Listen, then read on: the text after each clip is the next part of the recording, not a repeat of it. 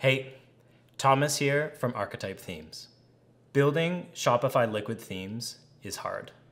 Open source resources like Dawn and Shopify CLI are great for getting started, but ultimately fall short for advanced needs. Any theme business that wants to succeed needs to significantly invest in their own custom tooling and workflows.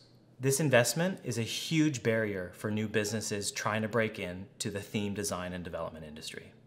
To make things worse, most of the innovation in this space remains scattered in private silos, and the same problems remain unsolved. Innovation in the liquid ecosystem is stagnating, and it's ultimately hurting merchants.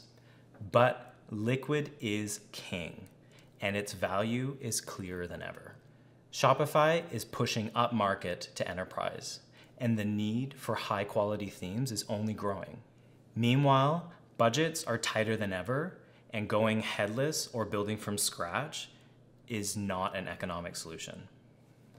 We could all benefit from more open collaboration on how to ship better liquid themes.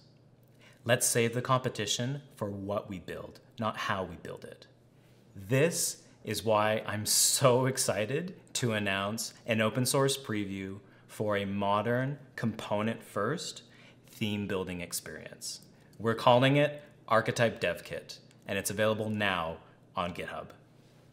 Design, build, and maintain your catalog of liquid themes using the same specifications, workflows, tooling, and source code that Archetype uses to power thousands of Shopify online stores. From centralizing functionality into well-scoped, reusable theme components, to facilitating an easier design handoff with a matching Figma file, DevKit aims to provide an end-to-end -end theme design and development environment. This initial preview of Archetype DevKit is a call to action for the community.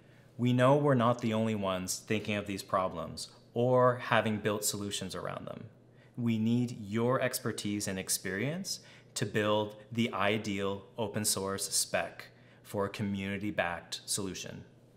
Together, we can move the Shopify theme ecosystem into the future. I'll see you in the discussion boards.